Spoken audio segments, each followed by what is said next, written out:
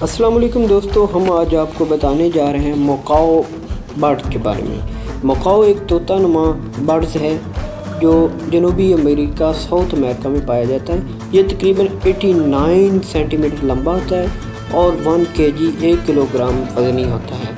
मोकाओ birds ये encyclopedia of life के मुताबिक ये तकरीबन 89 सेंटीमीटर लंबा होता है और वन किलोग्राम। ये साउथ अमेरिका में पाया जाता है, बहुत ही खूबसूरत और ये शानदार किस्म के परिंदे होते हैं। इनको घरेलू तौर पर रखा जाता है। घरेलू डोमेस्टिक बर्ड्स भी है, ये बोलते भी हैं। ये इनको अगर सिखाया जाए तो ये बोलते भी हैं। मकाओ बर्ड्स बहुत ही खूबसूरत हैं। देख, हमारे चैनल टू दी पॉइंट को सब्सक्राइब कीजिए ताकि आप ऐसी दिलचस्प इन्फॉर्मेशन से लुत्फानंदोज़ होते रहें।